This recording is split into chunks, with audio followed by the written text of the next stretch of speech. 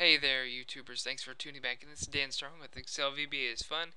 It's a beautiful Saturday evening, and I'm just trying to answer some questions in my YouTube inbox. We got another question, um, and this is uh, we're basically trying to reference uh, from this workbook. We're trying to get some information from the other workbook that's called Purchasing Database. And so, what we need to do uh, in order to in order to find the location uh, basically we need to let's do equals cells equals cell and we want to know not the address but we don't want to know the file name. And then the reference we'll just say how about nah this it doesn't matter. So there it is it's C users Daniel downloads because I just downloaded the workbook slash purchasing database.xlsm. Let's copy that. Control C, right click SV or click on the values, special values, SV. Okay, so we've uh, now we have the actual location instead of a formula. I'm going to shave off the worksheet hidden uh, or am I? Maybe I'm not. Let's see here. Um, yeah, I am. I'm just going to take this information here. Control C to copy. Now, let's assuming this location's always, this workbook always is going to be in that location. Let's go ahead and hit Alt F11 on our worksheet that we want to reference.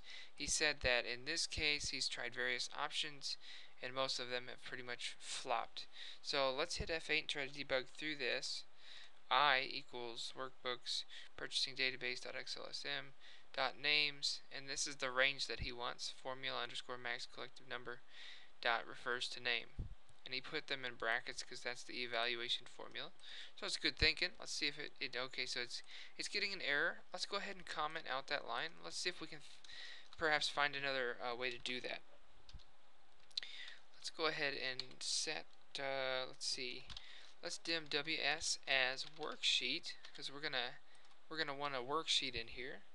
So let's say that um, set WS. We're gonna set up our worksheet to be equal to uh, workbooks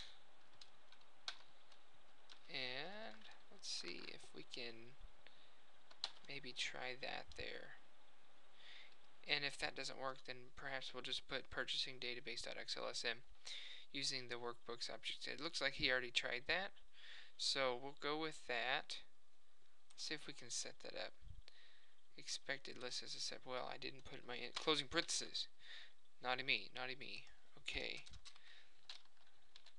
Okay so that may or may not work. Let's hit uh, F8 F8 Alright, so they didn't like that. Let's, uh...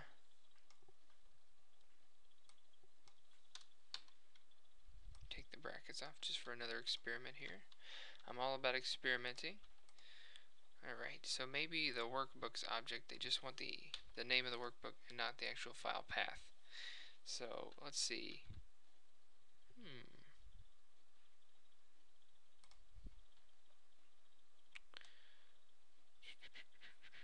Well, okay, as, as a worksheet, we need to declare it as a workbook. Workbook. Silly, silly, silly. Let me undo a little bit here. Bear with me. Remember, we're all learning together, right? A little bit. Let's do workbook. Okay. Yeah, that'll reset the project. Whoop-de-doo. Alright, let's see if that works. We're setting that as our workbook there subscript is out of range, fine. We'll do it this way.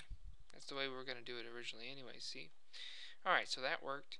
We've set WS to be the, this current workbook that we do have open over in another tab, so that's good.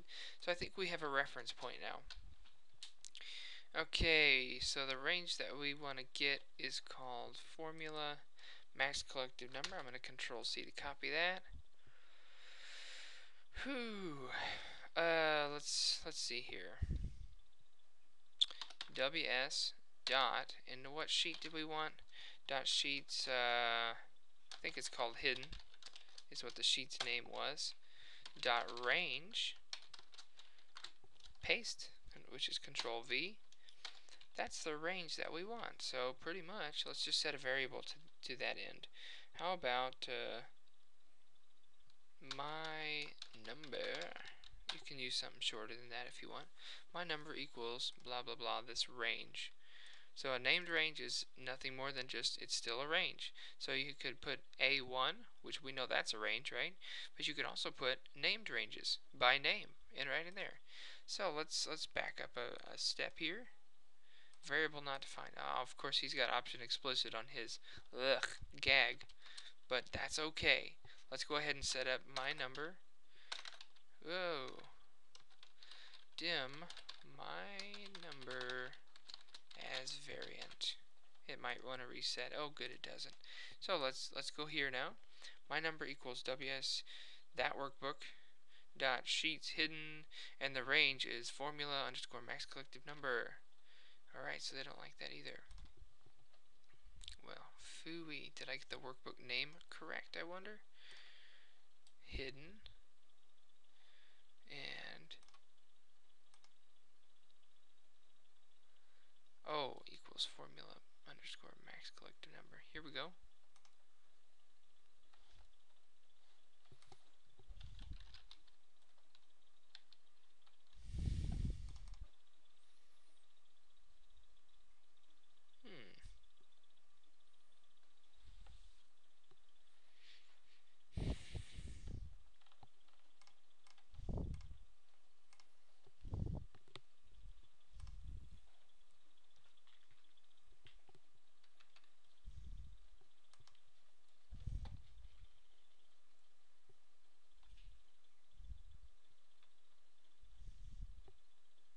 Oh, it might not be in that, uh, it, it might not, oh, it's not in that worksheet, it's just,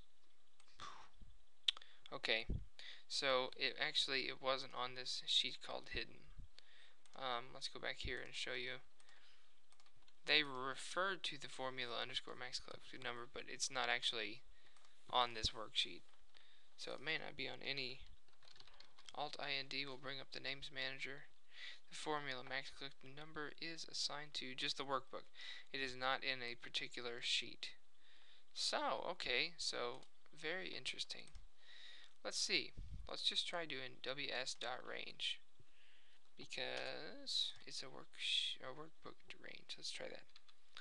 F8. Okay, they don't like that either. Hmm.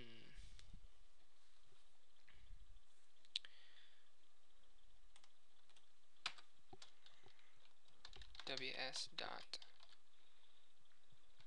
let's see dot activate. So we'll do that.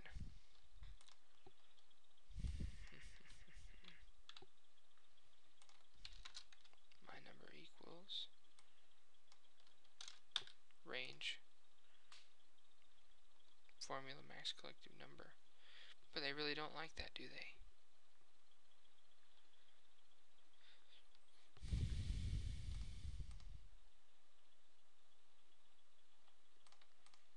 fine. go to the developer tab here and record a macro and see how they like to see it. record a macro, hit OK, hit that, hit enter, and stop recording. Alt F11. Let's go to our let's see here.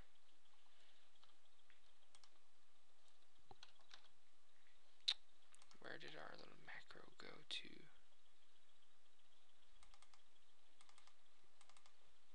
of course it saved it in my personal workbook. Okay so uh, active cell dot formula r1c1 equals equals formula max collect fine fine fine fine fine. Let's try that mess. Let's try something similar to that. Alright let's hit alt F11 we'll go back to our our trial here.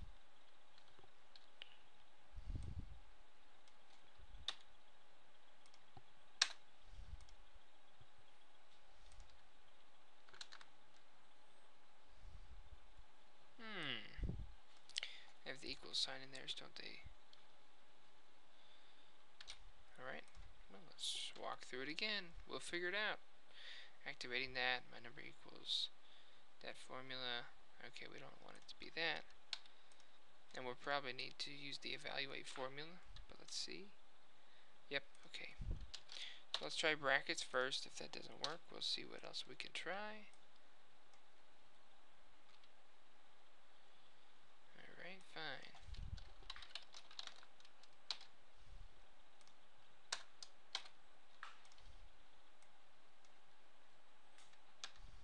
Aha! Aha! I love the evaluate formula. Ha ha ha, I love it. Alright, so we did it. Let's see if we can skip the activate business. We probably can't, but let's see what's up. Let's go ahead and select the one that we want to be in the forefront when we click the macro here. Let's go, we'll set the workbook to be that. And we'll do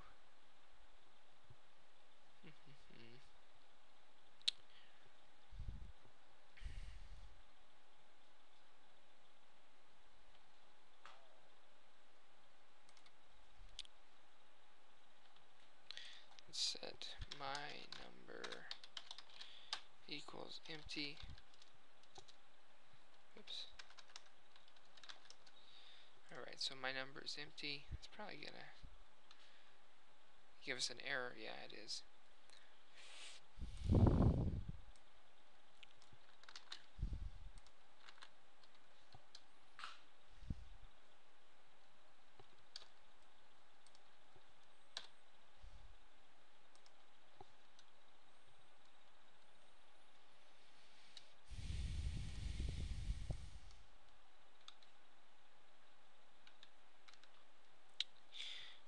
So it's, it's looking like probably the best way to do it is to go ahead and activate or open the workbook that you're wanting to use and then plop that into a variable that you want.